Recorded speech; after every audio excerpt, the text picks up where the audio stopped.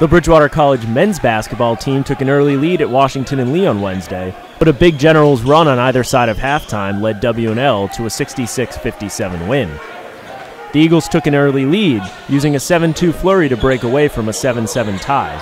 After Bryce Boggs had put the Eagles up with a jumper, a three-pointer by Kevin Saylor, and a tip-in by Zach Kopp gave Bridgewater a 14-9 lead with 11.52 left in the first half.